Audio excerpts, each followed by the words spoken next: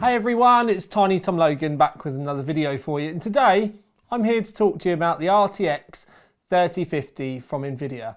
I have a card, I've tested a card. But I know you guys are all going to want to know or are going to be saying this isn't a graphics card that we can buy or is it going to be another one we just cannot buy.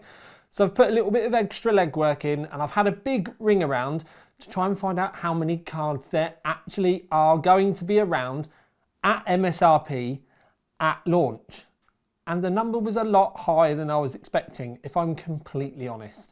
But I've tested a reference design for you today, which is the entry level MSRP graphics card.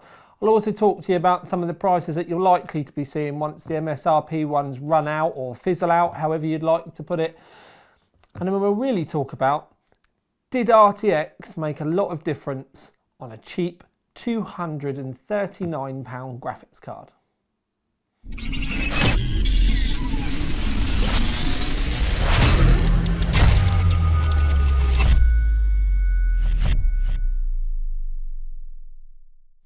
So yes, the Baby 3050, RTX 3050. Now the RTX side of it is the bit that really makes the difference because it wasn't GTX like it so easily could have been. They added the RTX in. So in reality, you've got the option of ray tracing and more importantly, especially at this price point, DLSS. Because at the end of the day, um, I know you don't live or haven't lived under a rock, but DLSS actually does enable things to be boosted. And we needed the RTX side of it so that we got the DLSS goodness in reality.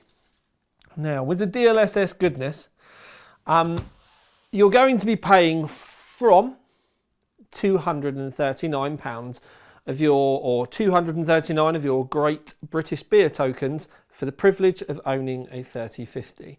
Now, I know everyone says um, uh, MSRP prices are mythical. We're never going to be able to buy one at MSRP. And so much recently that has been the case. But I have had a phone around, done my maths.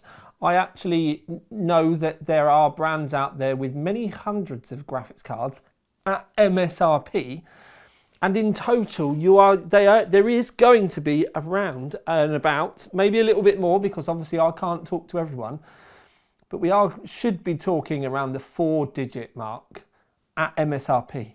Not all of the graphics cards in total, just the ones at £239. Now the Gigabyte one that I am reviewing here today, a very basic Eagle card. You can see it's been built to a budget. It's got a plastic backplate.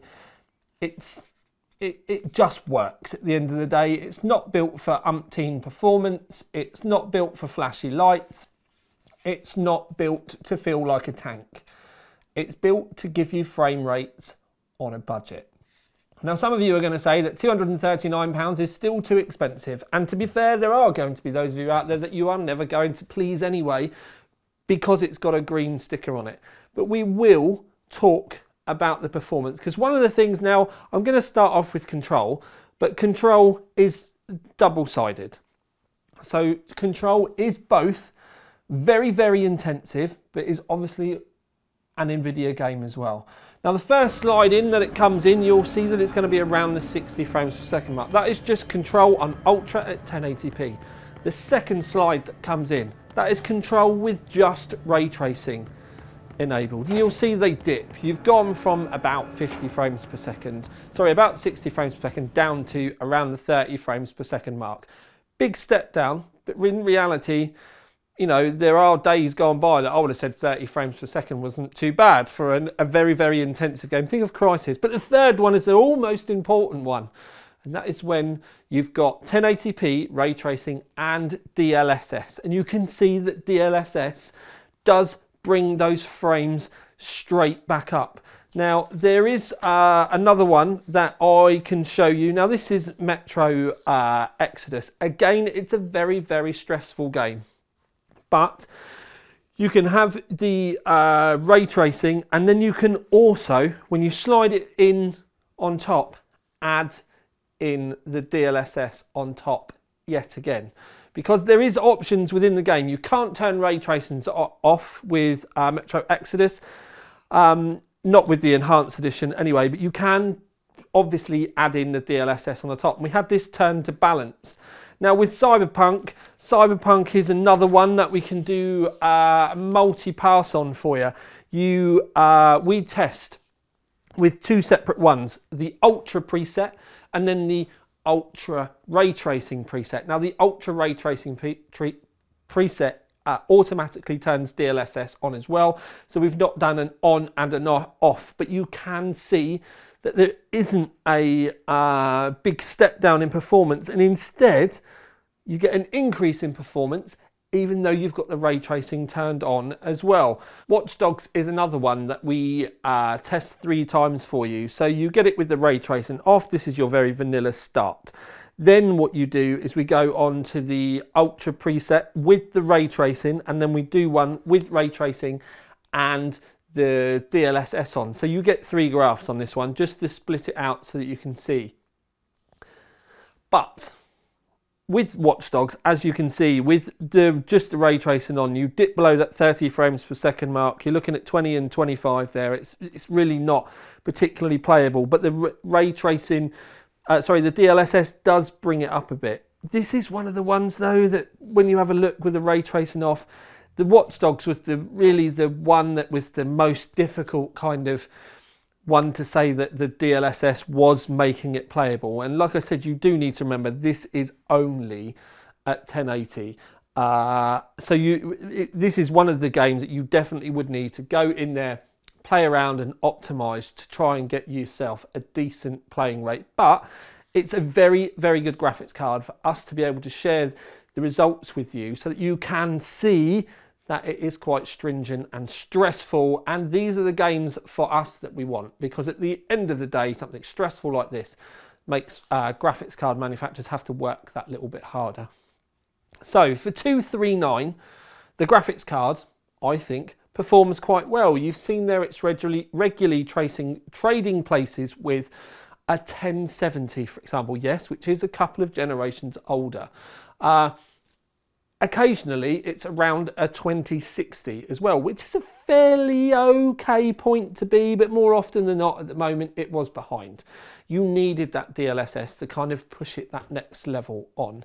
But when the 2060 was around, you were obviously talking about a more significantly more expensive card. And this is also, when we start talking about expenses, when we need to start talking around things around MSRP because MSRP is fine, but the card's never seem to be around for very long, and then also they don't then seem to get replenished much afterwards. It's almost like at launch, when they're gone, they're gone, and sometimes you get lucky with batches follow through, but the brands do end up kind of shying away from the MSRP after launch, and then you kind of you're then looking upwards think the average price for one of these is going to be around the £300 mark. So I don't know what Aorus or Gigabyte are going to be charging for the Eagle overclock, but that's probably there and thereabouts where you're going to be looking at that sort of pricing. It's around that 299 mark. I know that uh, there is not the entry level one, but the TUF from Asus is going to be coming through around the 299 mark. And I say around because I can't quote because they've not actually given me any official figures, but I think you're going to see a lot of cards coming in around there. Now, it coming in around the £300 mark is better than it being around the £400 mark, but it does make you sit and wonder that little bit more. But it's at the end of the day, the way that we need to be thinking about this is it is all going to come down to stock. Can they make enough of them? Are they going to end up on eBay for 500 quid? Do we need real life snipers for people that are scalping? I think we definitely know that the last one probably should be yes. But in an ideal world, £300 for one of these is always going to be a bit of a. But it's not in an ideal world. And I think I'd rather be paying 299 for one of these and getting a half decent one rather than having to go on eBay and have uh, a colonoscopy for the privilege of getting one for something like £450 because there aren't any. So I think I'd rather there be more at 299 than none at all available other than on eBay. And I think it's going to kind of depend where you want to swing with it. It's all going to come down to personal preference. And at the end of the day, yes, I've been lucky enough to get one at launch. But even this, because there aren't very many of them, they get moved on fairly quickly because they want to send them round so lots of people can get to play with them. So, the only real nice thing that I have to talk to you about today is I know there is going to be a lot of them at launch. Sadly though, lots of you are going to be watching this video after launch and when you're sat there watching this and you can go and have a look, I'm probably going to be looking to see how many of them are left as well. So let's keep our fingers crossed and hope these don't disappear in seconds like some of the other launches have in the past. And let's also hope that there's enough of these that the prices stay at the right end of the market and the scalpers on eBay and the scalping e-tailers don't start taking the Mickey out of us either. So that's enough from me today. I'm going to love you and leave you. This has been the tiniest one with this RTX 3050 review out. I messed that up. I, am not even going to cut. I'm just going to go ding. Love you, sis.